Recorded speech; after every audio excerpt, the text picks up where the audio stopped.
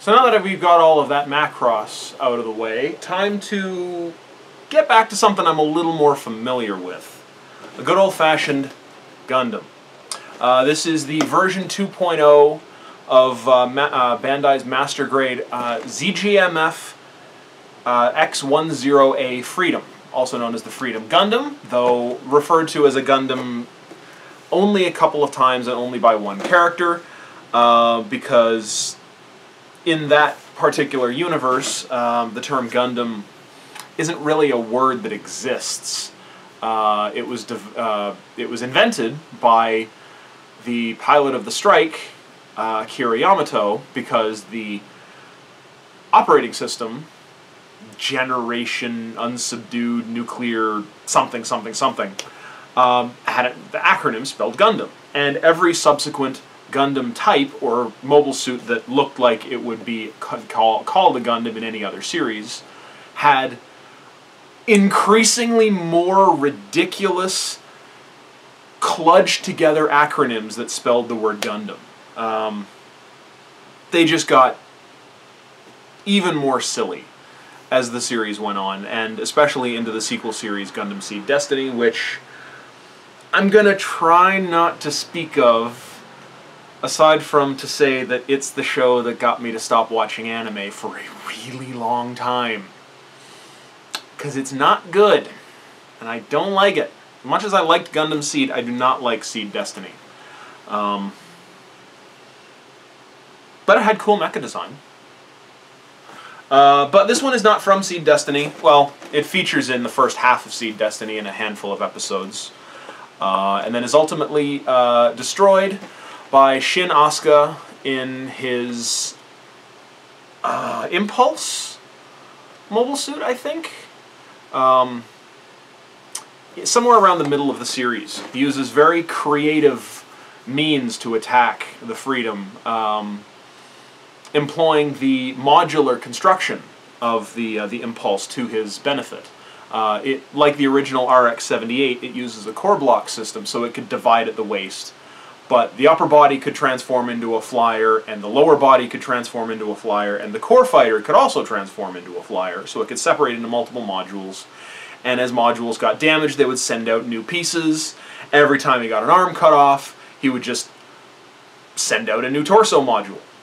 Piece of cake. And he would swap modules on the fly, and eventually was able to wear down Kira in the Freedom and, uh, and kill it in probably the only really awesome moment in the entire series. Because, um, yeah, that show was garbage. But, um, yeah, the, uh, the death of the Freedom was very tragic because it's one of my favorite mobile suits of all time. And I'm still salty at Bandai for them never having done a perfect grade of it. They did the Strike Freedom, its successor. They did the Strike and the Strike Rouge, even though one, the Rouge is a recolor of the Strike, so it's a natural that they would do both, because it's an easy way to recoup a little cost. But the fact that they never did a perfect grade Strike, I am super mad at uh, Bandai for that. But they did a version 2 Master Grade, so we are going to take a look at that, because even, what, when did this series come out? I think it was 2003 it premiered, so yeah, this is still one of my favorite mecha designs of the last 15 years. Um, so let's take a peek. I'm not going to dwell for too long on the box art. Um, it's a pretty standard master grade box. You know, digital rendering of the mobile suit in action, uh, somewhere fighting over Earth. Uh, box left side has some photos of the completed model, shows off some of the articulation details and whatnot. And the other side just has some uh, bio info and uh, just some three figure views of the uh, completed model.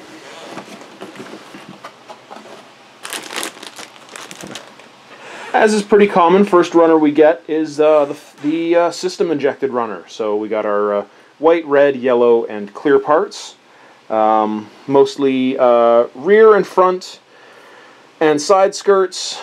The central V crest, which looks awful big. Um, looks a lot bigger than uh, than it was on the version one. So that's that's interesting. The uh, secondary uh, yellow vertical crest, which is made of kind of a more flexible plastic. Got your pilot figure, uh, Kira in his uh, duty uniform and his pilot's jumpsuit. Uh, head, armor parts, uh, both left and right halves, and the rear piece. So this suggests that the head is actually on a internal frame. You got your clear parts, eyes, camera for the blaster, and forehead crest sensors. Um, I think these are some of the red insert detail parts for the over-the-shoulder cannons, in detail parts for the shield here and here. Uh, I would guess vents for the hip rail cannons and the rail cannon barrels.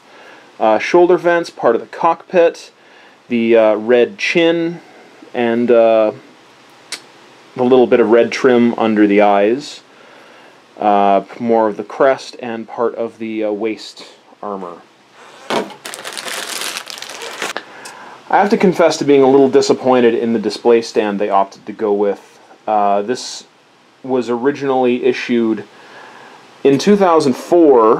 Um, I remember seeing it with, I believe it was the Wing Zero Custom uh, Master Grade kit way back in 2004, and I was never a fan of this this stand. Um, it is art, it is jointed, so you know, you've got two different positions for, uh, for the rod, but I would have preferred if they had included the same or a similar base as what came with the version 1 of Freedom, which the actual base was very evocative of its wings. It was a very elegant, very graceful base. Um, however, it was not articulated and uh, didn't offer much in the way of uh, flight, in-flight posing options. You couldn't lean the mobile suit forward. Um, but I would imagine this is still compatible with Bandai's action base. So this is only if you don't have an action base you can use you can use this. Uh, mechanical detail parts. We got your waist, uh, uh, rear skirt armor parts. Uh, looks like part of the torso, uh, part of the uh, abdomen, probably piece of the backpack, collar, um, skirt armors, the mainframe for the gun, I would say, shield mount latch parts. Yeah, here we go. This is the attachment point for an action base. So this would just plug into the, the top of an action base um, and uh, plug into the mobile suit the same way as the base that comes with it does. Uh, part of the head frame, I would say this would be the uh, insert piece for the uh, hips so the uh, hip plugs would uh, fit into there. Um, joints, I would guess, for the wings, the neck, hand pieces. So much like a lot of master grade par- uh, kits lately, instead of having articulated hands, it simply has swap out fingers, which not a fan of, but you know, hey, it's uh, it's a way to get improved detail and uh, a stronger grip on. Um, on weapons and accessories than uh, articulated hands can often do. Got a couple of identical runners here, so we'll just uh, look at one. Over-the-shoulder cannons, uh, shoulder armor parts, not sure. Um, more over-the-shoulder cannon parts. This would fit, I think, over the uh, the red frame piece we looked at. These would be part of the joints for it. Uh, forearm parts, upper arm parts, probably shoulder, guessing part of the ankle. Um, yeah, more leg parts, I would say. This is probably a, a, a hatch that opens up to reveal a thruster someplace underneath it. The shield. It looks a little more angular and dynamic than the uh, than the version 1.0 did. It had more of a rectangular slotted uh, window as opposed to this uh, kind of kind of reminds me of a Cylon eye. Um, overall, I like this design. It's it's really neat. Um, I'm a little bit disappointed. The uh, the version one, this little panel here, uh, which I believe is this this hole is to allow the beam rifle to poke through. The pilot can peer through the uh, the slot here and hold the rifle through there. This piece was actually swappable. It could uh, go on either side of the shield. You could pull it off and just clip it on on either side. So I'm kind of disappointed that they didn't uh, do that again on this version, but eh, whatever. Uh, this is the top armor plate for the uh, beam rifle, which looks like uh, the blue trim between the top plate and the rifle body. Uh, it looks like the blue trim is actually a separate piece, which that was one of my big complaints about the previous one, is that uh, it was just a single white piece of plastic and you had to either apply a, uh, a sticker or paint it. So this looks a lot better. Uh, hip railgun cannon parts. Um, I would say there's going to be two of this runner, or at least two of most of it, because uh, the cannons are essentially the same, and these parts uh, fit together. Uh, this would be the rear part, the middle part, and the front. Uh, you got kind of a vent piece here, a hand grip, which I never saw used in the series, so I've always left them stowed.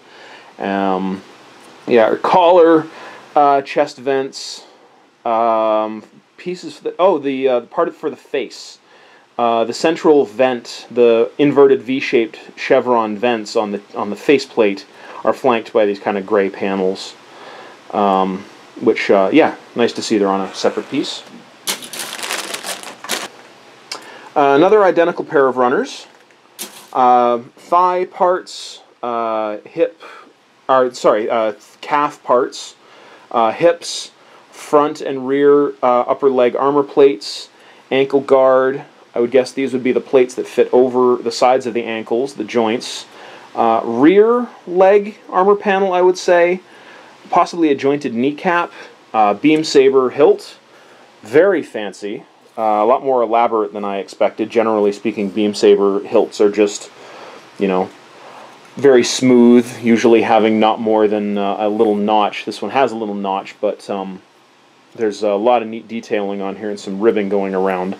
And it looks like it will you will be able to connect two together to form a, uh, a double-bladed beam saber uh, without having to use an intermediate part. So they will, should be able to just clip together. And uh, it's a single piece with a drilled out uh, emitter. Uh, top of the foot and front of the leg. Uh, most of the chest armor parts. Um, not quite black, more of a really, really dark navy blue. Got the uh, central armor plate for the shield, uh, above and below the viewport. You got the cockpit hatch, uh, flanking uh, armor panels on the chest, the rear backpack, or the, the, the back plate, the backpack armor parts. Uh, I believe this would be the top of the backpack, which is etched uh, Z, Zaft uh, which was the uh, one of the factions in the series, ZGMF X10A, uh, which is the model number. Um, these would be parts for the wings. Um, nicely, uh, nicely assembled on the runner. Um, I like the way they do this, so that uh, it's a single piece. You don't have to like sandwich two pieces together uh, and end up with a seam along the leading edge, and there's a gap along the back so you can insert the uh, other pieces into the wing to uh, close it up. Speaking of wings, uh, some of the largest wing parts, uh, I believe these would be the parts that actually would fit into those slots on those pieces that we just looked at. Um, wing joints, this would be the uh, the blue plate that fits on the rifle. So yeah, like I said, really glad they did it that way. Uh, I was really, uh, I was always really disappointed. I did like, I, I think I did three of the original uh, Freedom, at least two. I was always disappointed when it came to this part that I would have to paint it. And the uh, armor plate for the uh, midsection, which Single piece just slots into the main body and then probably gets pinned in by the uh, upper body armor. So it's a single seamless piece of armor. More wing parts, and again, two identical runners. Um, smaller, shorter wings, uh, detail plates, feet parts. Um, not much else to say. Uh, got some interesting etching on the wings here, kind of uh, arrow-shaped uh, etching details on here. Um, yeah, not much else to say. Looks like the feet uh, will have uh, some nice detail. Uh, probably have some really good articulation to them. Beam Saber blades. What is there to say? They're Beam Saber blades, standard teardrop shape. The previous Freedom had the kind of uh, katana-shaped curved blades, if I remember correctly. I always preferred those over these. Never been a fan. Um, more of the uh, the hip rail guns. This is pretty much the same runners we already looked at, except missing a chunk over here. And again, much like uh, we already looked at, got those wing parts. I believe this is part of a kneecap armor right here. Uh, probably part of the shoulder cannons. Uh, some sort of vent piece and a barrel piece. And one last pair of runners, again, identical. Uh, leg frames uh, for the lower legs, uh, detail up parts for the uh, calves, upper legs, hip joints, which I've actually heard, these are incredibly fragile. The way, the way these attach to the main body are incredibly fragile. Uh, so when I build this, I will uh, confirm or deny, but um, one of my favorite Gundam model kit websites, uh, Dalong.net, uh, on his review. I don't know if it's this part or maybe this part or another similar one, but yeah, a, a peg like this snapped off. Um, I'll link to uh, his uh, photo review of it, and uh, you can see for yourself. But um, bottom of the feet, uh, knee plates, um, more parts for the wings, a lot of joint parts. Uh, yeah, just a lot of joints here and there. Um, all ABS, incidentally. All of this is uh, molded in ABS. Uh, this this runner and all the other frame parts. There are no polycaps in this set. Um, so that's always interesting. And uh, then we got our markings. Uh, got our uh, foil-backed uh, stickers for the eyes and various sensors. Uh, dry transfers, which one day I'll do a video about how to apply these because they are kind of interesting. And finally, um, your uh, transparent backed uh, stickers. Um, don't like these. Never liked adhesive stickers. Um, water slide uh, decals or dry transfers or anything but these. They're just awful. Uh, we got some documentation uh, in the box. This looks like it's a set of effect parts. Um, a pair of uh, beam blasts for the over-the-shoulder cannons, uh, railgun blasts for the hip cannons, and one for the beam rifle.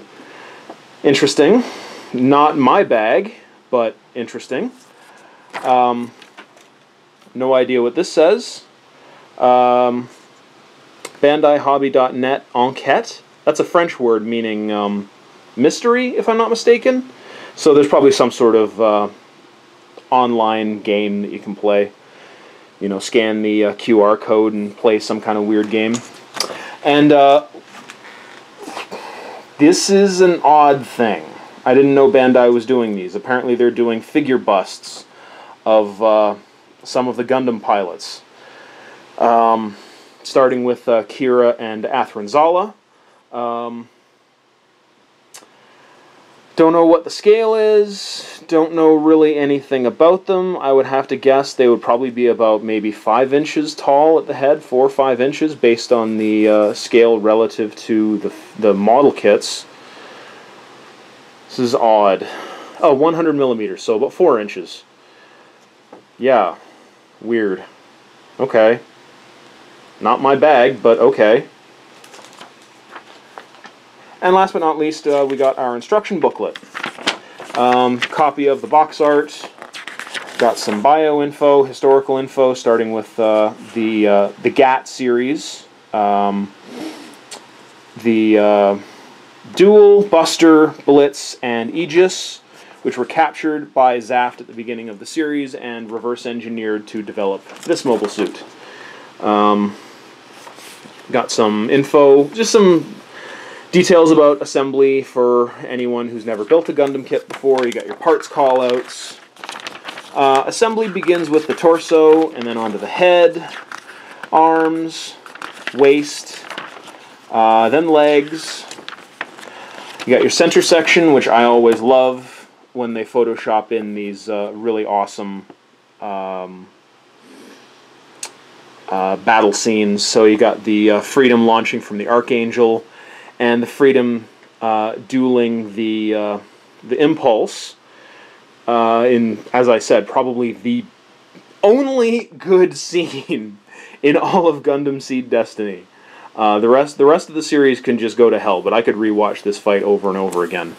Um, and then yeah, you got your detail about uh, mechanism, the uh, history of the the mecha, and your pilots detail Kira, Athrun, and uh, Lacus Clyne. Uh, construction continues with the backpack unit and the uh, railgun hip cannons, um, and then uh, beam rifle, shield, etc. And then the base, and then shows how you can attach that plug into a action base. And actually, the that's interesting. The uh, base does not actually connect to the model itself. It attaches to a little cradle. So, yeah, that's interesting. Um, not sure why they would do it that way. But hey, whatever. Uh, and then, yeah, shows off how to uh, deploy the weapons. And uh, then finally your uh, marking guide. And a last beauty shot. So, figure bust model kits.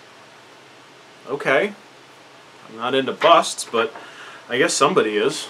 Um, anyway, um, it's a good looking kit. Uh, I don't know if it, if the Freedom really needed a version 2.0. The original kit was pretty good, aside from you know the minor complaint of the uh, that blue plate on the beam rifle armor um, having to be painted. I don't know if the technology's really come far enough that uh, that that suit that that kit really needed to be redone. Um, I'm excited to crack into it. Um, I'm curious to see just how different the assembly is. It looks very different, but you know, realistically, you know, in 12 years or 10 years or however long it's been, yeah, I don't know if it really was necessary. Um, but you know, whatever. It is what it is. It's it's out there. I bought it, and I'm gonna build it, and I'm curious to compare it to my old one because uh, I think I still have an old one kicking around someplace. Probably in a box somewhere buried in the back of the garage. Um, but in terms of, you know, taking it on its own merits, you know, uh, ignoring the fact that it's a version 2.0, it looks fantastic. Um, Engineering-wise, it looks great. Uh, the detail on the wings, uh, they open in new ways, uh, in different ways than the old kit did. Uh, I think the shoulder cannons, um, they open up, in, they have vents that open up in different ways than the original kit did. Um, the beam saber hilts look, oh, look fantastic.